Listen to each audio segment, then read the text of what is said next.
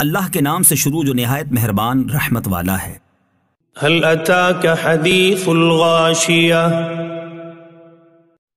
बेशक तुम्हारे पास उस मुसीबत की खबर आई जो छा जाएगी। ये गाशिया का तर्जुमा है और इसी वजह से इस सूरत का नाम गाशिया है।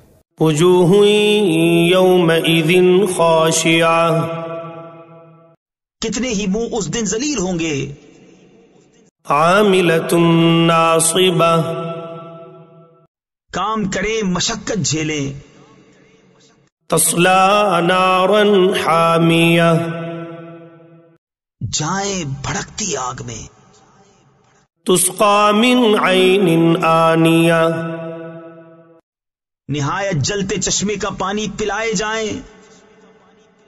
लैस लहुम ताआमुन इल्ला मिन गरीअ उनके लिए कुछ खाना नहीं मगर आग के कांटे।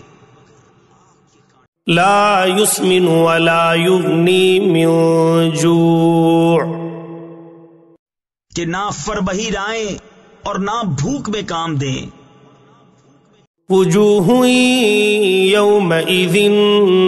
नाइमा कितने ही मुँह उस दिन चैन में हैं।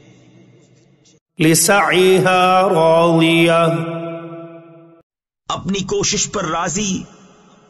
फ़ी जन्नतिन आलिया। बुलंद बाग में। ला तस्मउ फीहा लागिया कि उसमें कोई बेहुदा बात न सुनेंगे। फीहा ऐनु जारिया। उसमें रवा चश्मा है।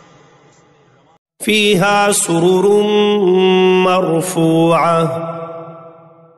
उसमें बुलंद तख्त हैं। मौआ और चुने हुए कूजे। व नमारिक मसफूफा। और बराबर बराबर बिछे हुए कालीन। मबसूसा और फैली हुई चांदनियाँ। अफला यंजुरून इलल इबिल कैफ खुलिकत तो क्या ऊँट को नहीं देखते कैसा बनाया गया? अरब के लोग आमतौर से सहराओं में ऊँटों पर सफ़र करते थे और ऊँट की तख्लीक में जो अजीब व गरीब खसूसियात हैं उनसे वाकिफ थे।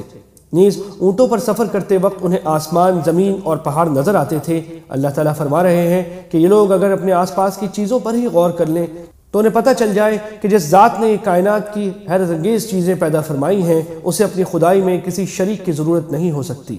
नेज़ ये कि जो अल्लाह ताला कायनात की इन चीज़ों को पैदा करने पर कादिर है, वो यकीनन इस बात पर भी कादिर है कि वो इंसानों को मरने के बाद दूसरी ज़िंदगी अता कर दे और उनसे उनके अमाल का हिसाब ले। कायनात का अजीम कारखाना अल्लाह ताला ने यूँ ही बेमकसद पैदा नहीं फरमाया है बल्कि इसका मकसद यही है कि नेक लोगों को उनकी नेकी का इनाम दिया जाए और बदकारों को उनकी बदकारी की सजा दी जाए।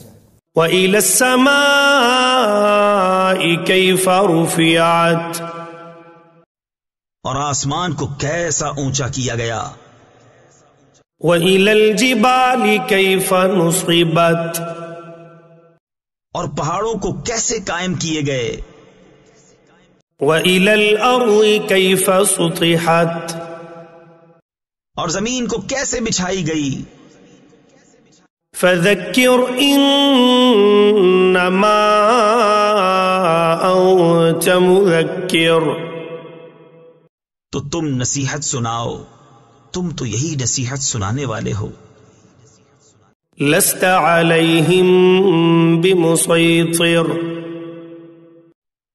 तुम कुछ उन पर करोड़ा, यानी निगहबान नहीं। हज़रत सल्लल्लाहु अलैहि वसल्लम को काफिरों की हट धर्मी से जो तकलीफ़ होती थी, उस पर आपको ये तसल्ली दी गई है कि आपका फरीज़ा सिर्फ़ तबलीग करके पूरा हो जाता है। आप पर यह ज़िम्मेदारी नहीं है कि उन्हें ज़बरदस्ती मुसलमान बनाएँ। इसमें हर मुबलग और हक़ के दाई के लिए भी ये उसूल बयान फरमाया गया है कि उसे अपना तबलीग का फरीज़ा अदा करते रहना चाहिए और ये न समझना चाहिए कि वो उनसे ज़बरदस्ती अपनी बात मनवाने का जिम्मेदार है। इल्ला हाँ कफर जो मुँह फेरे और कुफर करे। बल अकबर तो उसे अल्लाह बड़ा अजाब देगा। इन इलैना बहूम बेशक हमारी ही तरफ़ उनका फिरना है।